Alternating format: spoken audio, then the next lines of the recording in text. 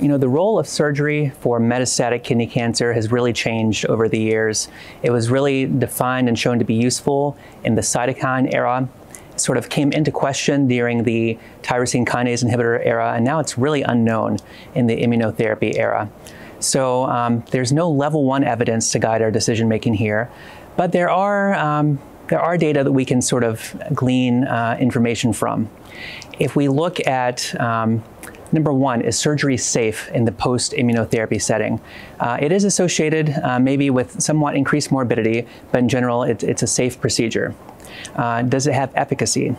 Uh, we do know from um, from post hoc uh, analyses of phase one trials that uh, the only patients who uh, achieve a CR, a complete response with immunotherapy, are those who have undergone surgery.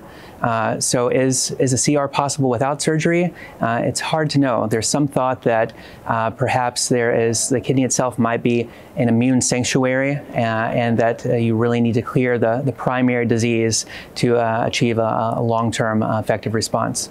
We also know that in sort of retrospective studies that there is improved overall survival in patients who undergo surgery, either upfront or uh, consolidated surgery after immunotherapy.